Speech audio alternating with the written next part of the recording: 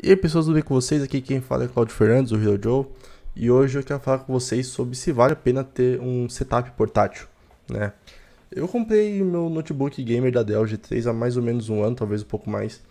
Uh, inclusive é um dos vídeos mais vistos do meu canal e muito obrigado por isso, eu não sabia que ia dar esse retorno todo. E depois de um tempo eu comecei a notar algumas coisas e não sei se realmente foi a melhor opção, né?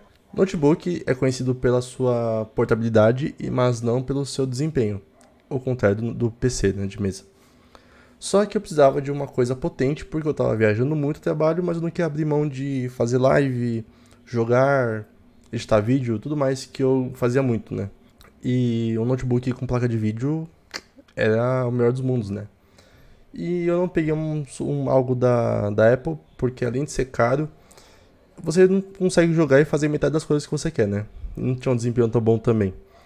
E eu poder colocar Linux no PC também, no notebook, para trabalhar e fazer do boot, enfim. Mas Apple nunca foi uma opção, até agora, né? E eu percebi algumas coisas que o pessoal falava e eu duvidava. Que, por exemplo, se você tem o mesmo hardware em desktop e notebook, você não vai ter o mesmo desempenho, porque no notebook muitas coisas são sacrificadas para você conseguir essa portabilidade, né?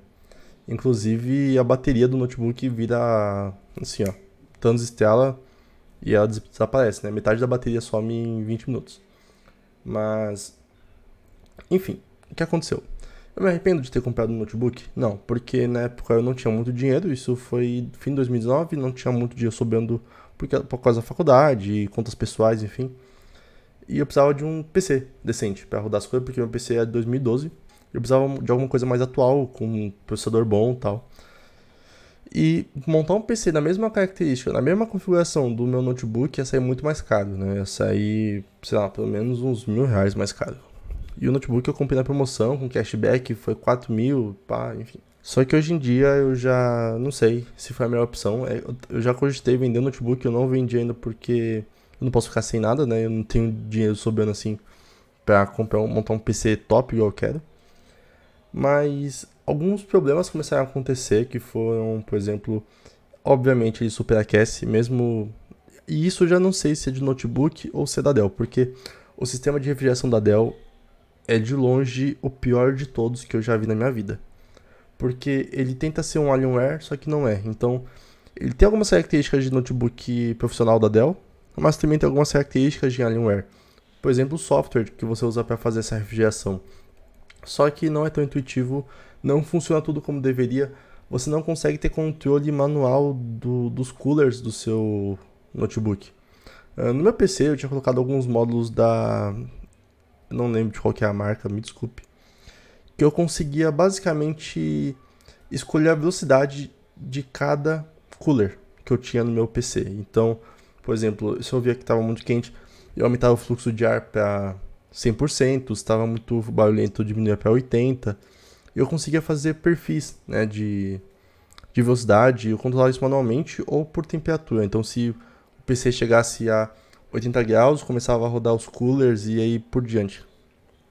Só que no notebook é para ser simples assim, porém não é porque é muito bugado, muito bugado mesmo. Você não tem esse controle tão fino. Tem o software da Dell, como já disse, do, do Alienware, só que não é full funcional. Quando você está instalando ele, você consegue ver que tinha mais algumas opções que simplesmente quando ele descobre que o notebook é um Dell G3, por exemplo, ele vai lá e corta, ficando só duas opções. Então é muito frustrante, né?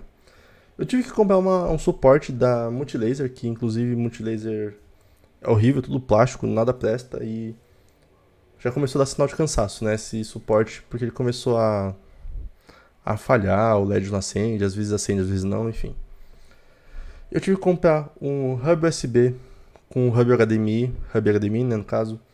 E eu comecei a descobrir um monte de coisa sobre notebook gamer que, cara, você não consegue usar dois monitores num notebook, exceto que um deles seja a tela do próprio notebook. Eu estou usando três telas, eu uso duas, dois monitores externos do notebook, mas foi uma gambiarra que eu fiz, né? Usei o USB-C, um hub USB de 500 reais, com duas saídas HDMI. Sendo que a 4K eu tenho que deixar conectada no PC direto, na placa-mãe, e o de 144 Hz, que é 1080p, eu deixo conectado na, no hub USB. O que acontece? Somente a placa que está conectada via HDMI está rodando pela placa de vídeo. O outro está rodando pela placa mãe. Ou seja, você, eu vou deixar um vídeo relacionado aqui do Adrenaline que explica certinho sobre isso. Sobre perda de desempenho em notebooks usando monitores externos conectados na placa mãe, enfim, é uma loucura. Então, não tenho potencial 100% aqui para fazer minhas coisas da forma que eu quero e que eu preciso. E eu não sei se é da Dell, mas tem momentos em que eu quero jogar tipo Overwatch e eu não consigo. Eu tenho que deixar na menor resolução possível e ainda assim ele trava. Então é frustrante demais, né? Eu vou deixar um corte da live na qual eu fiquei um pouco estressado mostrando isso que aconteceu. Vamos ver. Se vai rodar. Esse é o teste final. I know Ray Tracer, I know we don't be care, I'll be Bastion, Nerf Bastion. Tá aqui 144 FPS, 130 FPS. Vai cair um pouco. Tá 60. Tá 40. Meu PC tá com 80 graus.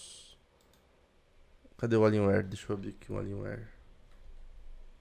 Pera aí. Mano, Alienware é tudo bugado, mano. Não serve pra nada. Alienware. Pera aí. Se um dia ele funcionar, eu vou ficar feliz. Se não, a gente joga sem funcionar mesmo. O PC tá, tá como? PC tá fritando, velho. Eu pôr um ovo em cima dele, frita. Eu vou parar de gravar. Para diminuir aqui um pouco. Opções, eu vou diminuir o gráfico, ó. Tá no médio, vou pôr no baixo. Aqui eu vou pôr 120. Aplicar.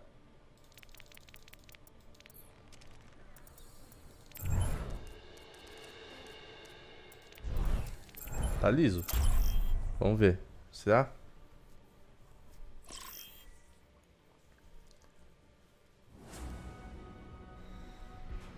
Medinho. Hum.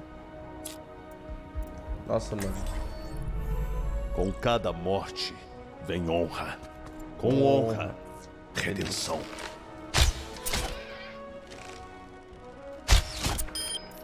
Será que um dia a gente vai conseguir jogar Overwatch em live? Esse dia vai ser um dia feliz, sabia? Mano, eu vou pôr tudo no mínimo, velho. Mínimo do mínimo do mínimo aqui, velho. Se não rodar. Aí eu desisto.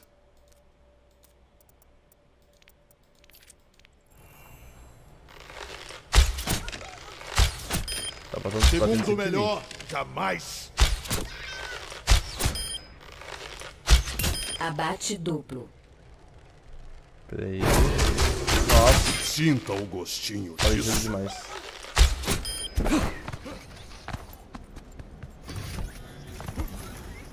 Ou será que não? Ou será que não? Vamos aqui um confronto rapidão só pra gente ver se a gente consegue jogar. Viajando para Eichenwald. Eichenwald. Prepare-se para se defender. Ah, não, Selecione não tava o não. seu herói. Achei que tava batendo cantar. É. Muito tempo. Os adversários atacarão em 30 segundos. Tempo, velho. Não vem com essa não.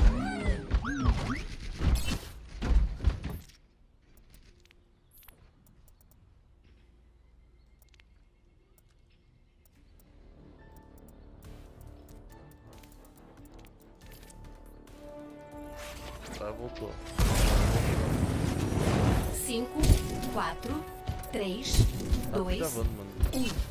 Nada, velho. Os adversários estão atacando. É isso, velho. Fique de olho em sua vida e me chame se precisar de assistência.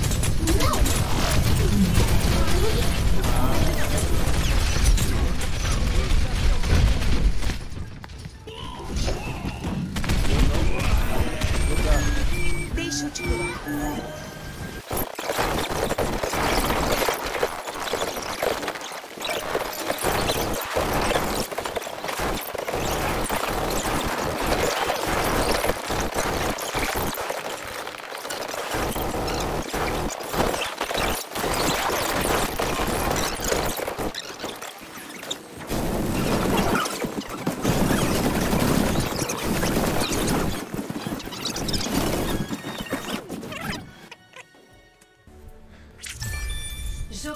Também tomar decisões, velho. Nem joguei direito o rolê, velho.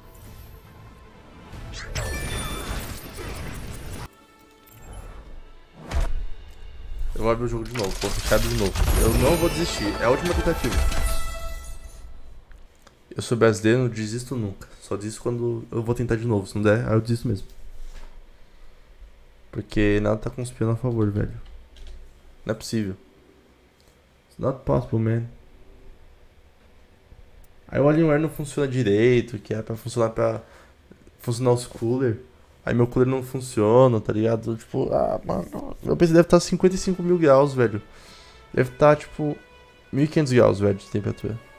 E aí meu clock tá, tá estável ainda. Só que se o Alienware não liga, o cooler não liga, tá ligado? E o Alienware tá bugado. Eu não consigo reiniciar. E eu tô extremamente chateado com isso. Se é que ali, se é chateado é uma palavra, né? Que eu posso usar aqui. É quase como usar ele sem passar térmica. É tipo isso, basicamente. É esse rolê. Daí o PC ferve. Que aí meu cooler não liga, velho. Meu cooler está desligado, o cooler do PC, tá ligado? Tipo, mano. É uma porcaria, velho. Esse gerenciamento de energia da Dell, mano. É uma porcaria. Uma porcaria. Não são duas porcarias, é uma só.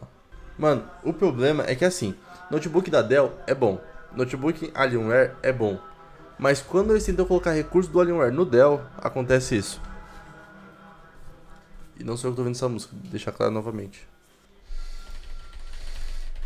Aí depois vocês falam, nossa, Tom, como você é estressado? Vocês estão vendo por que, que me deixa estressado? Tá vendo? Ou porque eu quero vender esse Note e comprar um PC? Porque um PC não depende desses bagulho, eu consigo controlar de forma mais fácil.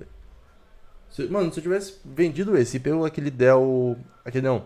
Aquele Helios 300 que eu queria aquela vez, lembra que eu te falei que eu queria trocar por um Helios 300 que tava na promoção lá, 8 mil reais? Então. Se eu tivesse feito isso, mano, tava suavão, velho. Tava suave demais. Mas é muito bugado esse gerenciamento, gerenciamento térmico, gerenciamento de aplicação da Dell. Quando eles tentam colocar recurso Alienware, tá ligado, mano? Será que eu consigo usar meu, meu Rasp como PC? Ah, mano, já tá travando aqui. Já tá travando o load. Já tá travando o load, mas não tem, não tem jeito. Olha isso. Treinamento. Como treinamento. Vamos ver se vai travar. Mano, sem cooler não dá pra jogar, velho. Não tem, como, não tem milagre que faça rodar um PC se o cooler não roda, tá ligado? O bagulho tá 620p, velho. Tava rodando liso, mano. Eu jogo pra ganhar. Em 24 horas? É, isso é verdade.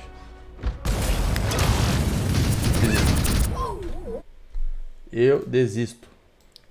Eu, Cláudio Fernandes aqui, presente nesta live numa sexta-feira, na verdade é sábado, meia-noite e 20, dia, 5, dia 6 de março de 2021. Eu desisto. Oficialmente estou desistindo. Mano, não dá, velho. Del, te amo, viu? De verdade. Vocês nunca me decepcionaram. Olha isso. Eu tenho esse Dell aqui. É um Dell deve ser dual core esse rolê, velho. Olha o peso desse bagulho aqui esse, o peso desse notebook aqui é o peso do meu notebook gamer, tá, Dell? Te amo, tá? Ó. Aqui, ó. Deixa eu só tirar esse documento aqui de dentro que eu deixei aqui. Ó. É um Pentium, tá? Esse notebook é 2009, ó. É Pentium, tá, ó. Não dá pra ver, mas ó. É Pentium. Esse notebook aqui, ó. Ó. Um Inspiron 1545, tá? Esse aqui de 2009. Isso roda Overwatch.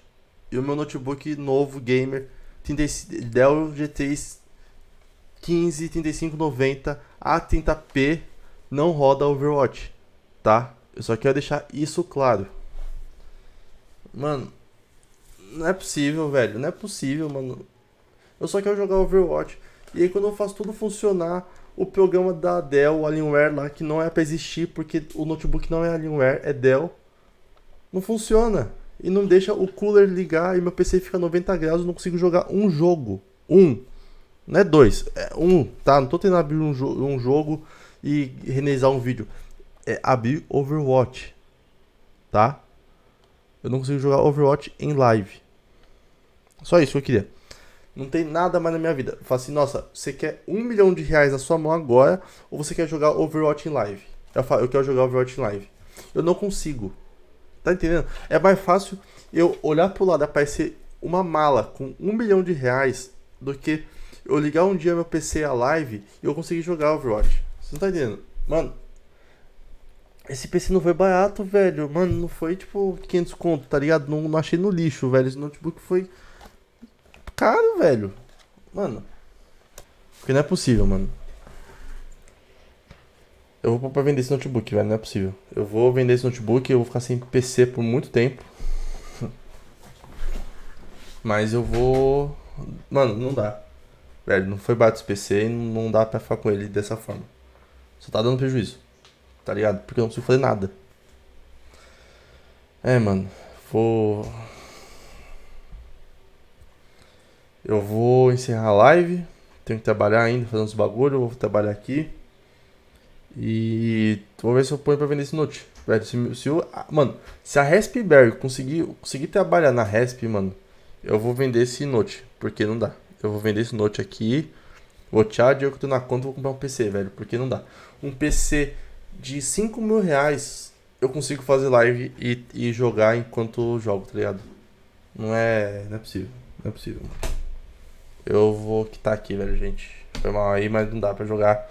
Agradeço a Dell, tá? Por, por esse notebook maravilhoso que não roda nem Overwatch em live. Fechou? Nem os programas dela não rodam, ó. Alienware, ó. Vou tentar rodar de novo, cadê? Aí vai ficar carregando pra sempre. Eu vou encerrar a live. Valeu, gente. Boa noite pra vocês. Deixa eu pôr uma musiquinha aqui pra encerrar e. É isso. Falou, gente. Tchau. Qual que é o próximo passo? Você deve comprar um notebook para usar como desktop de mesa? Não. Vai para o Mac M1, que agora está mais acessível. Não usa nada, usa seu celular, não sei. O que, que você faz? É o seguinte: o meu próximo passo vai ser deixar esse notebook em standby eu não vou, não pretendo vender ele, por mais que fosse vantajoso hoje, em dia financeiramente, porque pelo alto do dólar e tal, e eu pagaria bem, mas eu receberia mais do que eu paguei quando eu comprei. Mas eu vou deixar ele guardado para usar em casos específicos, por exemplo, quando eu for fazer algum projeto 3D no, no meu espaço maker que eu vou montar. Eu vou deixar ele guardado ali. Enquanto isso, eu vou comprar um PC de mesa e ou um Mac M1, Mac Mini M1 ou um MacBook. Porque MacBook, sim, eu tenho portabilidade de fazer o que eu quero. Porque são 17 horas de autonomia. autonomia e esse, é, esse notebook da Dell, se você usar ele por duas horas fora da tomada, ele já morre, né? Então vai ser bom eu poder usar um Mac Mini, um MacBook para poder programar, editar vídeo, sem esquentar e eu poder ficar longe da tomada de verdade. Tipo, eu poder ir pra sala, colocar no meu colo e trabalhar o que não dá para fazer com esse notebook, né? Só que eu tenho dúvidas porque o Mac M1, ele, Mac, o Mac Mini ou MacBook M1 ainda não está 100% compatível com tudo. A placa de captura que eu tenho atualmente não está compatível, o, o meu é o HD60S, só está compatível o HD60S Plus. Eu tenho contato com o Elgato e eles me disseram que é o, realmente é o software e que eles estão trabalhando nisso para gerar mais compatibilidade, mas enquanto isso não roda. E alguns projetos a gente usa Docker e eu descobri que o Docker não está 100% compatível também com o M1. Tem alguns poréns ali que estão acontecendo, mas em si, enfim, o resto funciona bem, né? Algo que o meu PC de mesa supriria. Só que um PC de mesa está custando pelo menos uns 20 mil reais, né? Se eu for comprar o PC que eu planejo comprar. E isso sem utilizar 100% do que eu queria, né? Fazendo um setup mais modesto. Inclusive eu já fiz vídeo mostrando um pouco sobre um PC básico e um PC completo se eu fosse comprar isso no, no ano passado, quanto sairia. Hoje em dia está ainda mais caro, por causa do dólar. Em resumo, se eu fosse você, compraria um notebook pensando em usar ele como setup principal? É difícil dizer. Uh, porque eu preciso sempre de um hub USB, eu preciso de um monitor externo, eu preciso. É muita gambiarra, muita energia, muita coisa para fazer tudo funcionar da forma que você quer. Eu não consigo fazer uma live decente em 1080p com o, Stream, com o Streamlabs ao mesmo tempo que eu jogo um jogo mais forte, sabe? Um jogo mais pesado.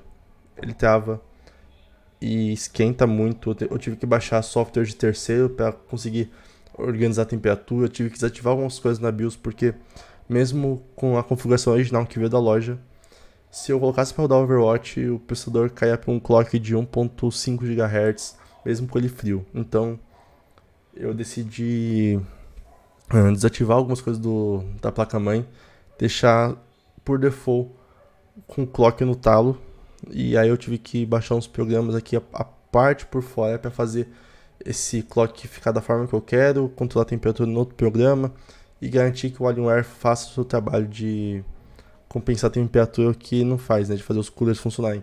Então eu tenho que usar esse suporte e é muita burocracia. Então, tem um notebook gamer só se realmente você for no meu cenário de 2019, que era viajando muito e queira jogar, trabalhar e tudo mais à distância. Só que sempre essa distância é colado com a tomada, né? Nunca longe dela. O que perde um pouco do sentido de ser um notebook. Então, eu não consigo usar esse notebook para trabalhar fora porque a placa de vídeo puxa muito e se eu faço, se eu uso ela. Ah, e tem um detalhe. Se você tirar o notebook da tomada, ele automaticamente derruba o FPS do seu jogo para 30 quadros. Então, é uma porcaria, é uma porcaria mesmo. Então, cara, o que eu te recomendo? Compre um notebook para trabalhar, normal, com uma placa de vídeo MX, essas coisas assim, bem simplão, com um processador bom e, e que seja leve, que tenha uma boa autonomia de bateria, né? E usa um PC para trabalhar. Mas é claro que dá para você usar esse notebook para trabalhar. Eu uso até hoje e no quesito trabalho ele me supre em tudo, só que como eu faço mais coisas do que só programar, ele acaba cedendo em alguns momentos, por exemplo, isso de jogar e etc. Mas ele é um bom companheiro se você precisar viajar muito e ter potencial. Só que eu não sei se eu compraria hoje em dia um notebook da Dell. Eu sei que tem o. Como que chama aquele notebook? O. Tem a linha Predator da Acer, que esse eu tava pensando muito em comprar, só que na época que lançou, lançou por 20 mil. E hoje tá por 7 mil, já vi promoção por 6,5. Com a mesma configuração do meu, que é uma um Core 7 nona geração e o resto, tudo igual. A diferença é que esse vinha com uma RTX 2060 e não uma GTX 1660 Ti. Só que infelizmente não deu para comprar e hoje em dia não ia trocar por isso, mas eu acho, não sei, não tenho experiência com esse da Acer, mas eu acredito que seja melhor você ter um da Acer do que esse Dell por conta desses motivos. Mas, enfim, o que, que eu vou fazer? Eu vou comprar um MacBook muito provavelmente um M1 para trabalhar, 13 polegadas ali. Não sei se o Pro ou Air, depende do preço, que está muito caro também no Brasil. E eu vou montar um PC gamer top para live e para jogos, porque aí eu consigo ter um controle melhor de, de fluxo de ar, de de tudo, de potência, consigo fazer overclock da forma que eu quero. Eu consigo fazer o PC trabalhar da forma que eu preciso, né? E não eu ter que trabalhar de acordo com o que o notebook suporta. É, são pontos a serem levados em consideração. Mas é isso. Se você tiver alguma dúvida sobre notebooks, eu sei que tem muita gente que me passa perguntas no Instagram sobre o notebook, etc. Fique à vontade, faça perguntas, só que eu não consigo responder sempre, eu só consigo responder uma vez na semana, duas, porque está muito corrido por, por enquanto. Mas aguardem próximos vídeos, porque eu vou mostrar o uso que eu dei para o notebook, né, que eu, que eu tenho esse da Dell, e como que vai ser o futuro do meu setup tá certo? Desculpe se eu me prolonguei muito. Então, obrigado por ter assistido. Deixe sua opinião aqui embaixo sobre o que você acha sobre setups portáteis. Uh, se você tem um notebook como setup principal, se você tem um PC e o, setup, o notebook como setup secundário, o que, que você acha? Diz aí. E valeu, falou.